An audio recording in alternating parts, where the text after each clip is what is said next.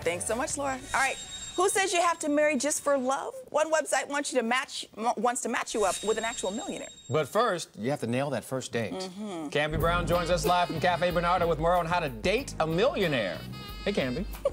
Good morning. So we are talking with the spokesperson for MillionaireMatch.com. It is a free site but you actually have to start paying once you maybe want to interact with people, but you can go on there and see what these people have to offer. Now, they put their picture up, or do they just post like, here's my yacht, here's my mansion? Well, a little bit of both. They do. They do have pictures of their yacht and their mansion, but they also talk about where they live, what their hobbies and interests are, what sort of brands they might be into, whether or not they like to travel or not. Well, they better like to travel if they're millionaires, and most people really don't care about. I mean, the truth is, if you're going on this website, if you're someone like me who wants to find a millionaire to have this plush lifestyle, I, I mean, do you really care what they look like? I mean, most of the time we're getting like really hot girls and some not so good looking guys. Is that pretty average? Well, I'll let you take a look uh, in more depth, but basically you have older successful men and younger attractive women is not uncommon. Okay, so what, what, what's a good age difference, the age gap there? What usually happens? Well, the old rule is uh, for men, it's uh, half of your age plus seven years. So a 40 year old would date a 27 year old woman. That's sort of a standard rule of thumb. Oh my gosh.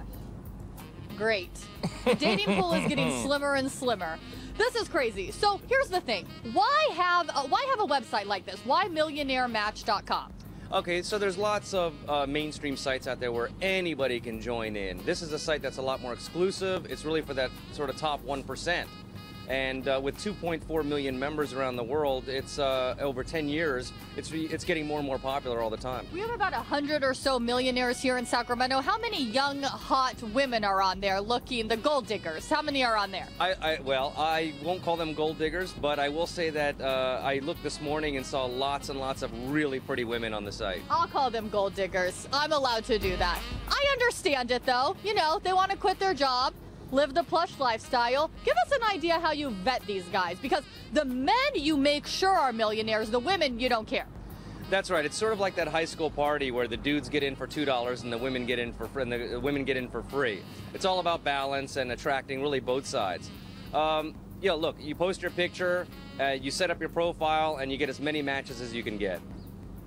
On average, age. Let's talk about age of the guys. How old are they usually? You know, there's a, a, a 21 to 71. Well, uh, what 21 year old do you know that's a millionaire? Is this trust funds? I know quite a few, actually. Okay. All right, the website millionairematch.com. Check it out. If you make a profile and you know you get a date, you you need a travel companion, I'm down to be your friends.